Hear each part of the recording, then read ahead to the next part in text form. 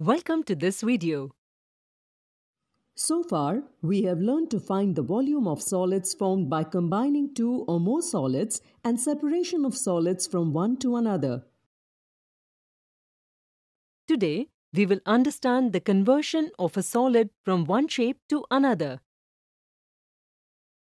Suresh has a box of sweets, which contains 3 kilos of barfi. If the weight of each piece of barfi is 20 grams, can you tell how many cubes of barfi will be there? We have studied such situations in our previous classes. Based on which, we can say that there will be 150 barfi pieces in the box.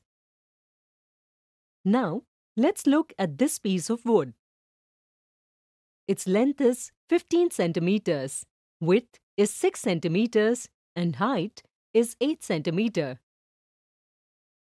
Can you guess the volume of this piece of wood?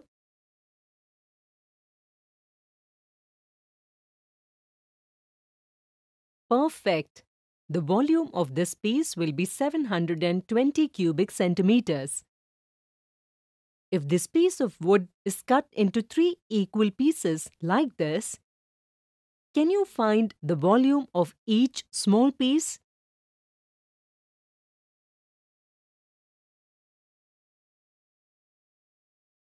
Well done! The volume of each small piece is 240 cubic centimeters.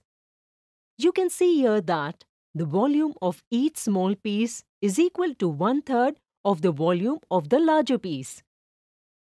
Let us see some more examples.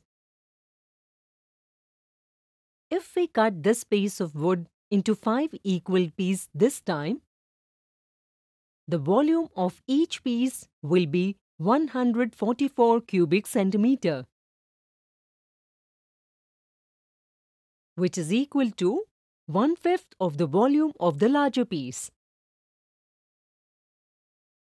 So, we can say that if a solid is converted into a smaller solid of equal measure, then the product of volume of the small solids and the total number of small solids is equal to the volume of the larger solid.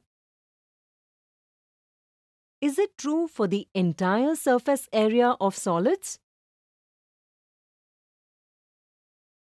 If we take this piece of wood and if we calculate the surface area of these five pieces made from it,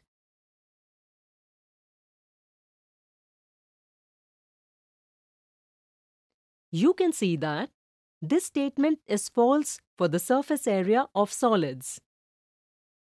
Is it applicable only to solids of similar shape? No, this is true for all solids. Let's look at an example.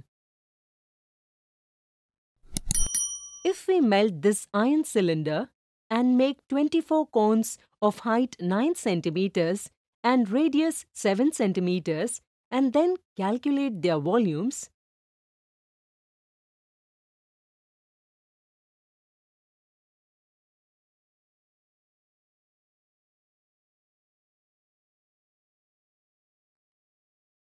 we will realize that this statement proves to be true even in this case. Today, in this video, we learned that on converting a large solid into small solids, volume of large solid is equal to volume of small solid multiplied by the total number of solids.